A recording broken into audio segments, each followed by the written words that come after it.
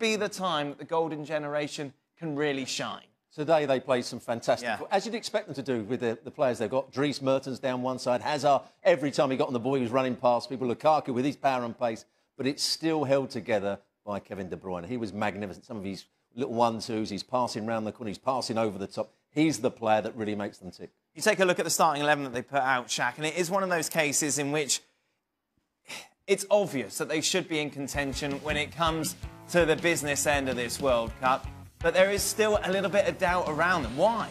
There's still a lot of doubt around them, certainly in my mind, and it's all down to Lukaku up front. As impressive as he's been for club, I don't think he's been able to replicate that form for country. It's a different. Good today, though, didn't he? Two goals. He, he did, but it's a different game I, against a poor Costa Rica team. We have to say, given what we've seen from them over the last couple of weeks.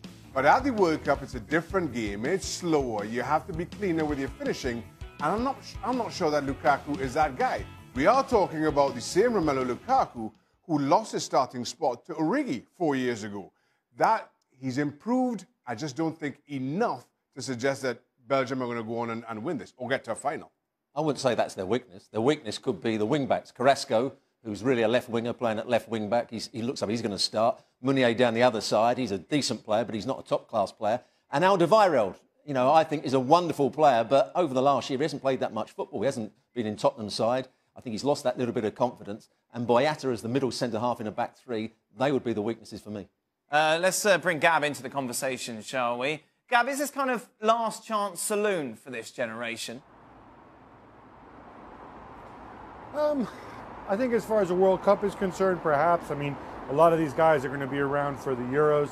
Um, I, I, think it's perhaps last chance saloon for, for playing a certain type of, of, of Belgian football that we saw under Wilmots, and hopefully it's going to be version 2.0, the improved version under under Roberto Martinez. But you know, I was listening to, to what you guys were saying about Lukaku, and um, I think the challenge is going to be, and we'll find out while he's done it. Lukaku gets a very different type of service at Manchester United than he does uh, with Belgium. So I, I, think that could be something problematic. But remember, they always have the plan B. Dries Mertens played at center forward all season long for Napoli. Um, might that be something that Roberto turns through, turns to if, if Lukaku isn't firing?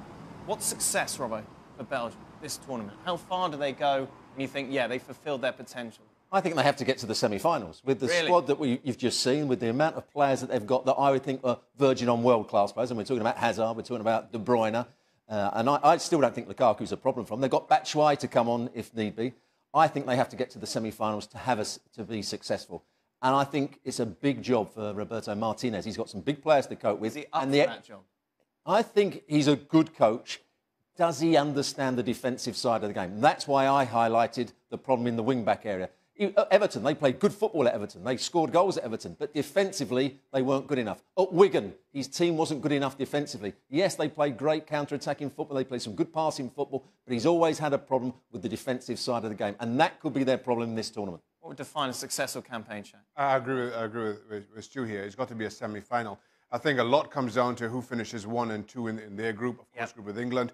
You then pay up against Colombia or Senegal out out of Group G, and that determines exactly who, who you come up against in, in, in- the quarters and then the semis. Um, but yes, given the talent in this squad, if you don't make these semi-finals, it's seen as a poor tournament for them. Uh, let's just remind you of Belgium's group. Of course, they're drawn with England, who are the other favourites to advance, along with Tunisia and Panama. Uh, Gab, the bookies have got Belgium as the strong favourites to get out of this group first. Uh, is that fair? Are they a much better side overall than England?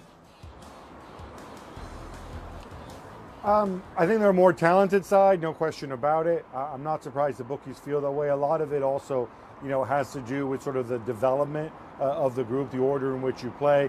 The thinking is Belgium have have a much softer start against Panama, uh, and uh, and then they can build momentum from there. And, and possibly also the fact that you know in the third game, if Belgium need to win against England to finish ahead of them, they can do that.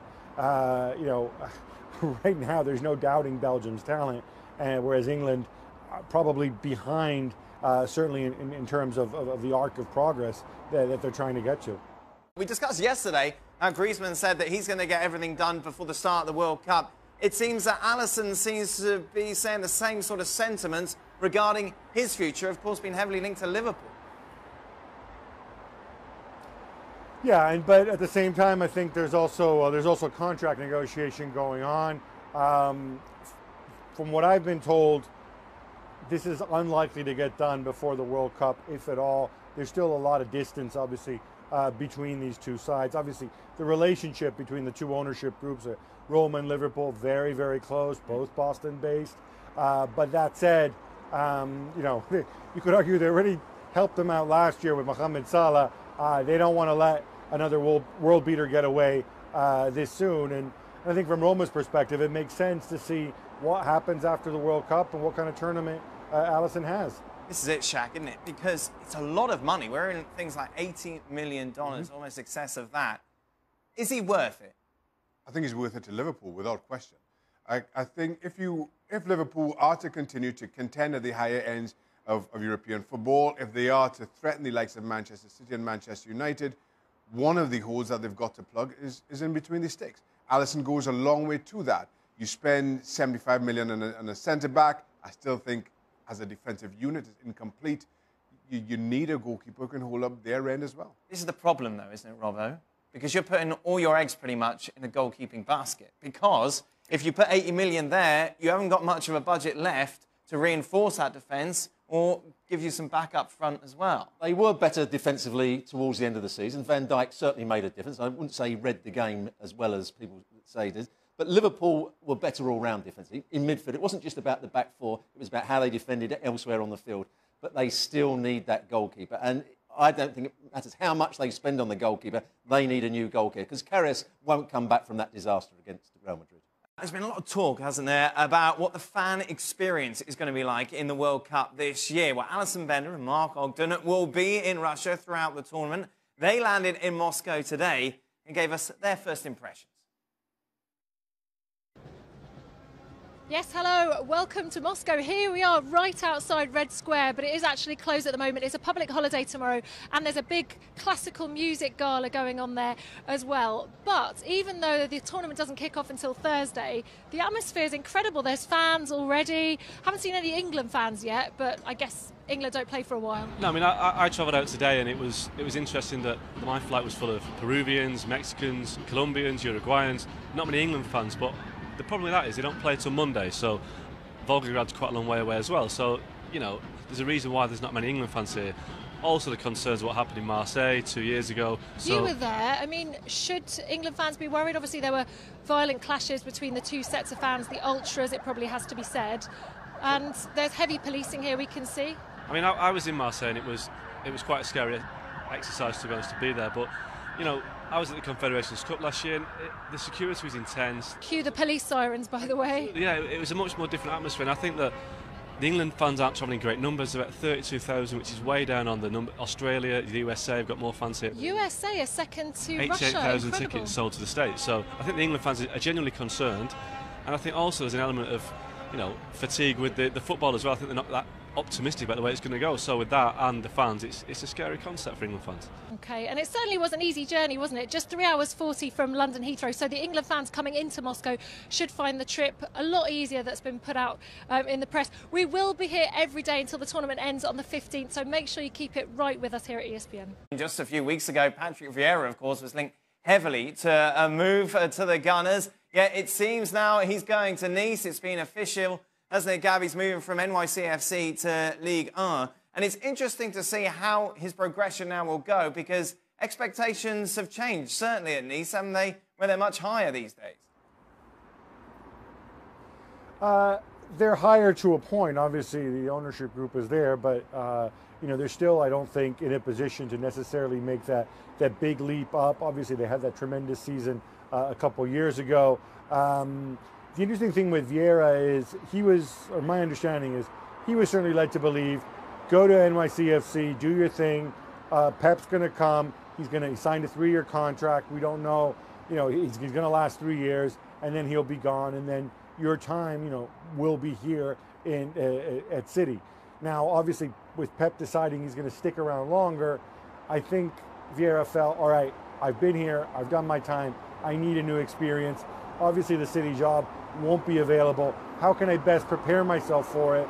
And so he opts to go back to France, back to Nice, and, uh, and, and try to bring his football there. And and then really face a totally different set of challenges, get, get a different skill set than what you have uh, in MLS, where obviously there's there's salary caps and there's rules and there's there's restrictions.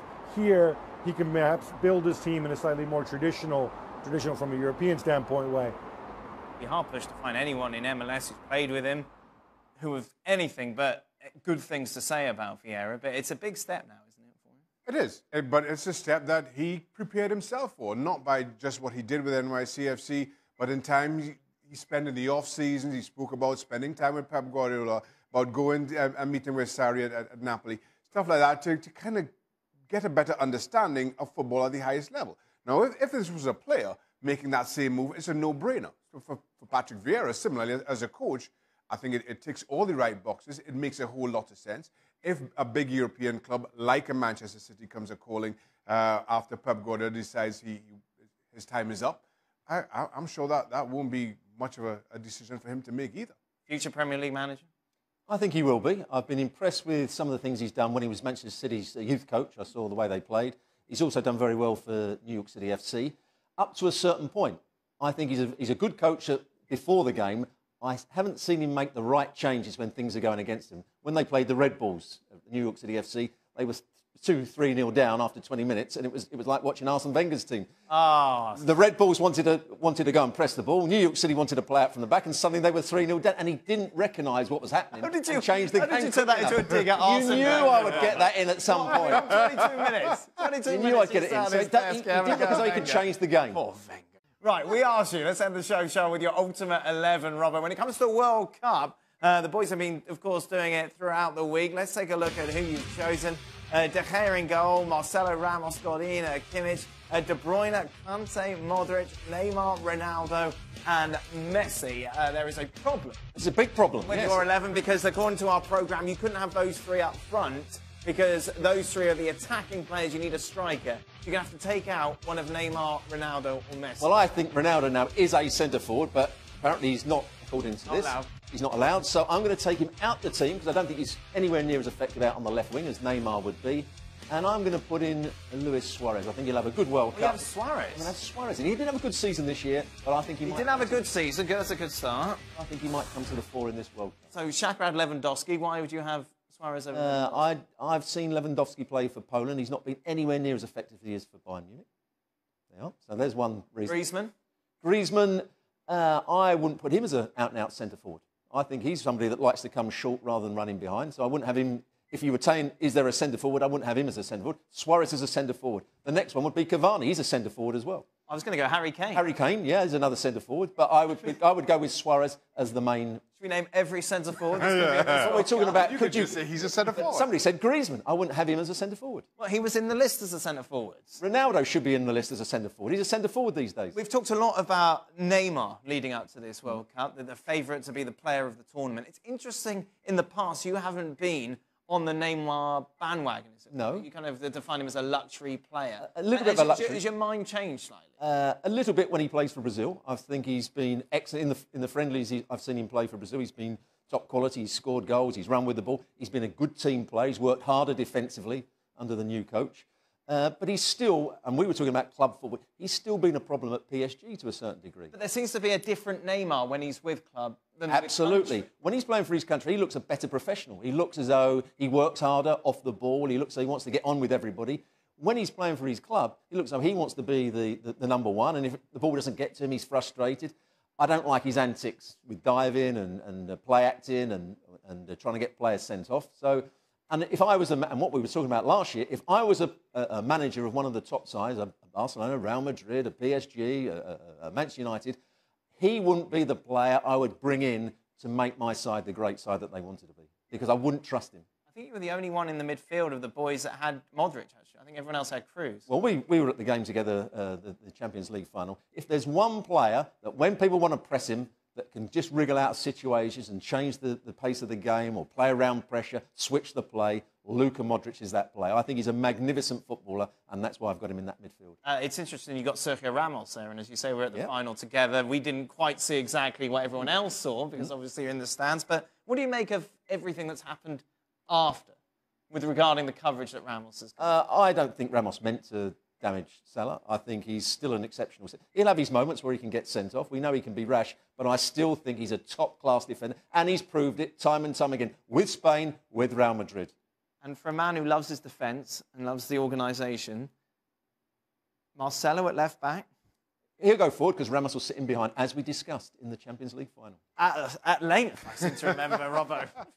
Welcome to Extra Time. Robbo's arrived from England. Kate Winslet on your flight today, Robbo? Any No, celebrities? No, no, but you are a celebrity in Barbados. I went there last week. Oh, everybody was talking about it.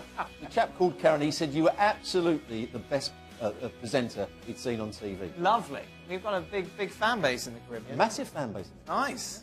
Lovely. Were they nice to you? Very nice, yeah, yeah. They, they moaned about uh, Ali Moreno.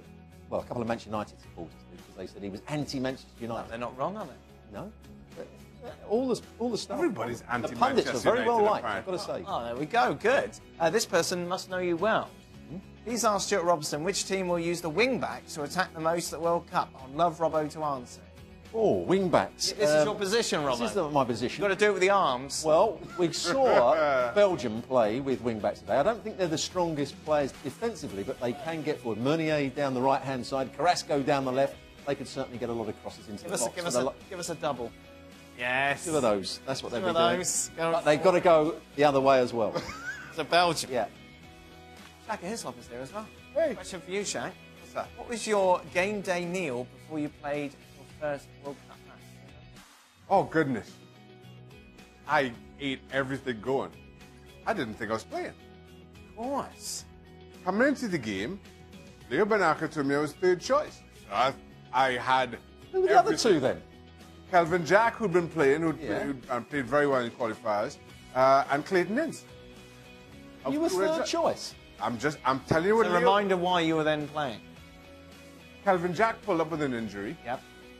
and I stared Leo Beenhakker down as if dare him not name him. Were you eating a chicken wing at the time? what? Probably had some bacon. Had a bacon with me. No, seriously, I, I had pancakes, bacon, The whole everything. shebang? The whole shebang. Go out onto the pitch in Dortmund to warm up. I'm kicking shots at Clayton. At, uh, at Clayton. Everybody else is warming up and doing their thing, and Kelvin is off to the side with, with the goalkeeping coach, and I'm kicking shots from the top of the box. Wow. That was my pre-World Cup warm-up. Did you play well? Went all right. That was that Sweden game. Yeah. That's, that was where That's Shaka it, was that's it. amazing. Zlatan writes about him in his book, saying he was unbelievable. Did you Yes, mention you could say that about him in every game, really. But Well, not so much maybe at Reading, uh, Newcastle, West Ham. that's brilliant, Yeah. Shaq. Good breakfast. So then, how did it? So then, let's take it to the second match. Yeah. How did, was your preparation different then? Yeah, it was. Obviously, you knew it was starting. so- Yeah. Not nervous. Yeah, I, I, I got.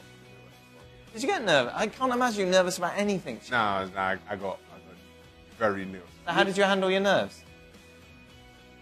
Chew gum. Oh yeah. Oh, that worked. That's yeah. That's about as as good as it could get. And then once once the whistle goes, I'm fine. Right. Once once things start, I'm fine. But just that, that whole build up, I was, I was terrible. What about you, Robbo? I can't imagine you nervous. Very much in control. Uh, apprehensive rather than nervous. You always think, how's the game going to go? Who am I playing up against? Is he, is he quicker than me? Is he, whatever it may be. Until the game starts, you're never quite sure how it's going to go. All sorts of things. I can't ask him that. I've got to ask you about your shower. What about the shower? I don't know. Is there a story about your shower? Oh, Oh no, no, I know what the story a is. bit of mildew at the bottom. You can't, get, can't have that. You, you- you have to get the cleaner on that every day. And when I say the Very cleaner, I mean I mean the spray, not a cleaner. A- Go on. Sort the mildew out. Oh, ah, that threw me then. I thought it was some sort of pre-ritual. who, who would know about my shower anyway? Don't worry about it. I have no idea what's going on, and I'm comfortable with that. Let's move on to Gab, shall we? Good evening, Gab. Good evening. Uh, what time is it there? What time are you now? Like two in the morning? It's, uh, it's just about one o'clock in the morning. Ah, are, you, are you finished after I'm this? Is hearing that it? stories about Stewart and his cleaner and his shower. And Obviously not interesting It's- enough. To- to be honest, add that to your show about a certain uh, your story about the tattoo. The show went entirely in the wrong direction. Oh direction. yes, Gab was talking about. Right. Anyone? Anyway, no disrespect for Perez, but why was Icardi not called as a replacement for Lanzini for Argentina's World Cup squad? Cannot understand. What does he have to do to be in the squad, Gab? I'm wondering the same thing myself. I, I'm really out on a limb here. I mean, in terms of what a good Icardi can bring to the squad, I, I, I personally think he's, he's, if he's not better than, he's pretty darn close to what to what Higuain can bring, or really the Aguero that we've seen of late can bring. But that said, it's pretty simple. Lanzini plays a different position, and, and I guess he feels that, that, that Perez is is a suitable substitute. I mean, what what Argentina don't need right now is one more center forward, and uh, and I think it's as simple as that. You need some level of balance in the team. Last time this came up, when Argentina named their squad, Dirk reminded us that Icardi mightn't be welcome in that dressing room. Why? Well, I don't know why you'd bring that up, Shaq. I'm just saying that these things come, these things factor. Not because of relations that maybe he Oh, okay, okay, These, I'm with you. these things matter. I'm just saying. Never had that happen in one of my squads or teams, but I'm just saying. may move on from Shaka's gossip column. Uh, which Asian team do you think will go the first, furthest, Gab, in this summer's World Cup? That's a good question. I mean, I don't think this is a great crop of, of, of Asian sides. I think Iran possibly the best of the lot, but of course uh, uh, they have they have a very tricky group. Um, I think perhaps Australia and Japan a little more a little more manageable. I think it's it's, it's certainly a down period for for Korea. So maybe I'm going to lean towards. Uh, oh, sorry, I didn't mention Saudi Arabia. I do not think Saudi Arabia are getting out of their group. So I'm going to go on a limb and say say Japan or Australia, but I, I, I don't know. I think it's going to be tough for, for, for any Asian team really to get out of these get out of these groups. Notice Gab making predictions and me not shouting. Good. That's a marked improvement from yesterday. I felt, felt bad yesterday, Gab. Sorry about that. Oh, now they've cut off his mic. That's it. That was no, that was not my choice. we I shall not know. We shall not know. Always shout at have- somebody. you're getting a reputation for being a bit of a bully. No, no, I Shout didn't at mean Gab yesterday. Shout at the sound man today, to. Shouted. or the sound person. He was shouting at his wife about doing the lawn mowing earlier on. She Send me a message. He told her how to So cut the you lawn. shout at your wife to do the lawn mowing. She was, she was, I don't know how, so she, she sent me a message going, I'm going to cut the lawn. Cut, how do I stop the lawnmower? Which you answered, just take your hand off the handle. Just take your hand off the thing, but I assume she was preempting not being able to stop it. Was worried that it was going to run amok around the neighbourhood. oh dear, dear. uh, which Asian team do you think will go furthest? Uh, Japan obviously won their group, uh, but it's they're not the Japan side that we've seen in previous World Cups, but they were quite good. Uh, I would say the team that have the chance, the one that Gab went against, Saudi Arabia, are in the weakest. If they can beat Russia Right. in the opening game, they have a chance. But on my prediction, not one of the Asian teams will get through the group stage. Oh, neither my predictor. But I'm going to go for Korea. Germany are going to dominate that group. You know I don't rate Sweden. I think they kind of limped into this tournament. And we're not quite sure what Mexico we're going to get after Partygate. Hmm. Oh, again, bringing Gossip. up your I'm gossip. just saying. Up I'm, your ju- I'm just saying. You don't know what Mexico you're going to get. Should we go, say goodnight to Gab now? Yeah, I think we should say, but say it nicely. No, I will say it nice tonight. Don't shout. I'm not going to shout. Are you going to bed now? Leave. Apparently, you're going to be somewhere different tomorrow, a bit more scenic, Gab. Oh no, I can't do it from the comfort of my own home. No, you can't. Can we see your home? What happens if the camera turns right? Can they turn the camera right? What's through that window? Oh, apparently we can, If we're you- not allowed you, to do it. If you turn it around, yeah, you, you you'd be looking into uh, into Ralph Honigstein's room, but he's not here yet, so Oh, there we Wow. it's going to be a real sty tomorrow when he gets there. I gets can in. imagine Gab's room scruffy. I bet, he, I bet he doesn't tidy up after him, Gab, does he? Well, Gab, Yeah, I- scruffy room. I would have not a bad word said about it.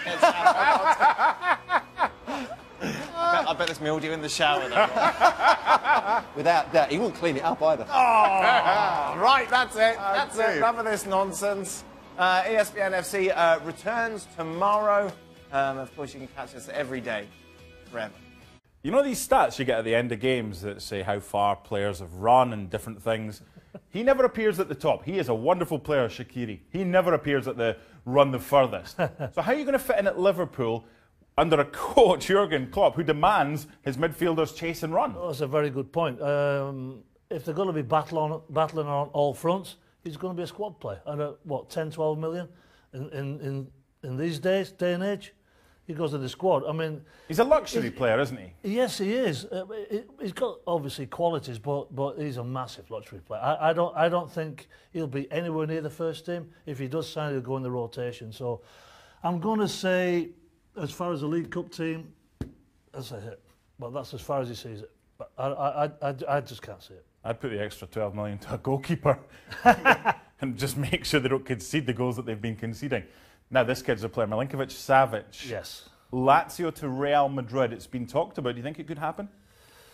Look, I, I think I think it'd be a fantastic sign of it, any side. I mean, he, he is, as you say, Mark, he's an un unbelievable talent, this lad. Uh, it's going to be fascinating to see him play for Serbia in the World Cup. Um, but again, to your point, he needs to play football. He needs to be in a regular side. Can he do that at Real Madrid? I, I personally think he's that talented that he can. So he's going to go to Real Madrid.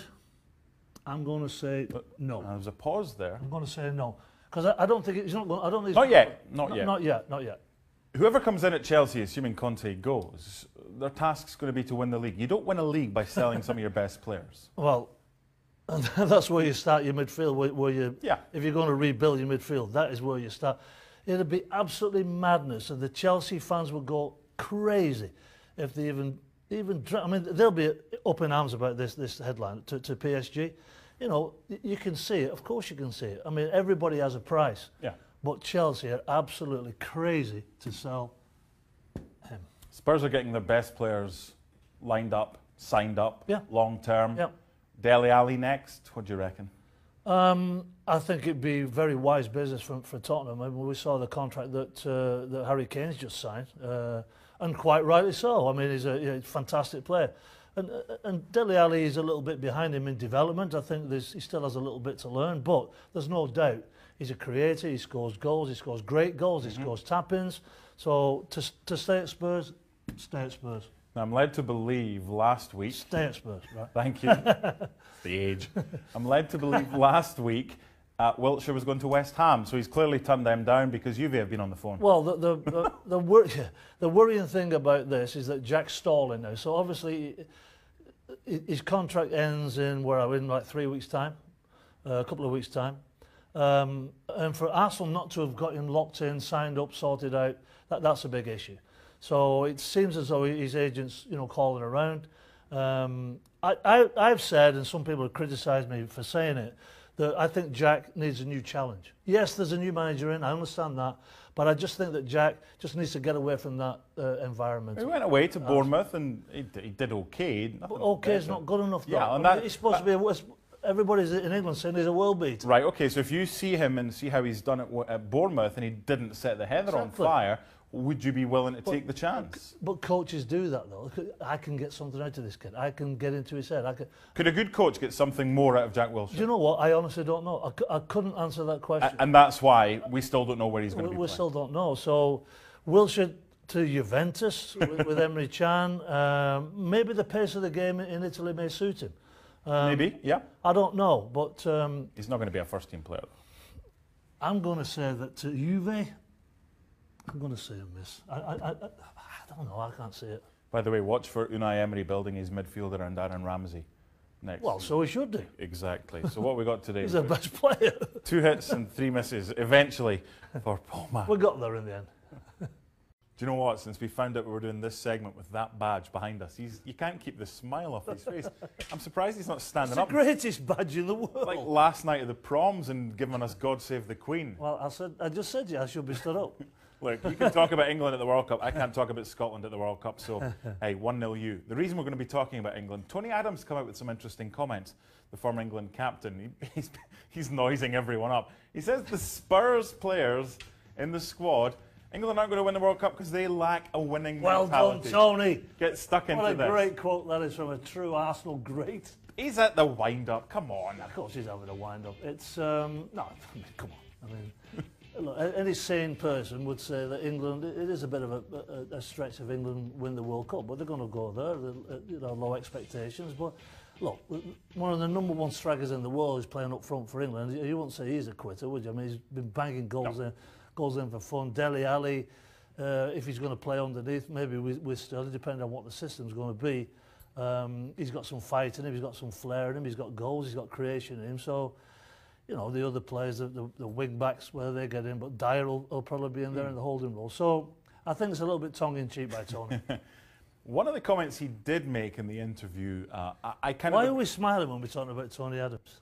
I don't know why. I, I don't know Tony. God, You- you I, know? I know him really well. He's a leader of men. I'll give him that. He's fantastic. He was an apprentice when I was at Arsenal. Okay. Fantastic. Good. Yeah, I mean, he, he had a great career, so he's entitled to his opinion. We just don't agree with it. One of the other things that he said that I do agree with is the inexperience that England have got hmm. might be a bit of a hindrance. They're the third youngest squad. Yep.